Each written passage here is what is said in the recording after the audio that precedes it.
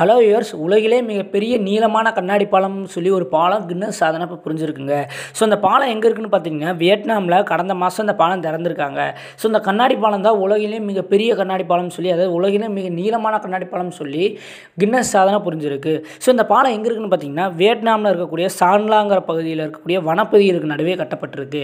So இந்த மெயினான reason என்னென்னு பார்த்தீங்கன்னா அந்த கண்ணாடி பாலம் கட்டுறதுக்கு. ஸோ இந்த சான்லா பகுதியில் இருக்கக்கூடிய வனப்பகுதியோட அழகை ரசித்து கொண்டே நடக்கிற வகையில் இந்த கண்ணாடி பாலத்தை அமைச்சிருக்காங்க. ஸோ இந்த கண்ணாடி பழம் பார்த்துட்டிங்கன்னா உலகின் மிக நீளமான கண்ணாடி பாலம்னு சொல்லி கின்னஸ் சாதனை புரிஞ்சிருக்கு. ஸோ இந்த பாலத்தோட பேர் என்னென்னு பார்த்தீங்கன்னா பாச்லாங் தான் இந்த பாலத்தோட பேர். ஸோ இந்த பாலம் வந்து பார்த்திங்கன்னா ரெண்டாயிரத்தி எழுபத்தி மூணு அடி நீளமும் தரைமட்டத்திலிருந்து நானூற்றி தொண்ணூற்றி ரெண்டு அடி உயரத்துலேயும் இந்த பாலத்தை கட்டியிருக்காங்க. ஸோ இது இதற்கு முன்னாடி வந்து பார்த்திங்கன்னா ஆயிரத்தி எழுநூற்றி இருபத்தாறு அடி நீளமும் கொண்ட சீனாவின் குவாங்டாங் பாலம் தான் உலகின் மிகப்பெரிய மிக நீளமான கண்ணாடி பாலமாக இருந்துச்சு. ஸோ அதுக்கப்புறம் வியட்நாமில் கட்டப்பட்ட இந்த இந்த ரெண்டாயிரத்தி எழுபத்தி மூணு அடி நீளம் கொண்ட இந்த கண்ணாடி பாலம் வந்து பார்த்துட்டிங்கன்னா அந்த சீனாவோட பாலத்தோட சாதனையை முறியடித்து கின்னஸ் சாதனை புரிஞ்சிருக்கு. ஸோ இப்போ வரைக்குமே இந்த வியட்நாம் பாலம் தான் உலகிலே மிக நீளமான கண்ணாடி பாலம்னு சொல்லி க சாதனையை புரிஞ்சுட்டு வந்துட்டுருக்கு.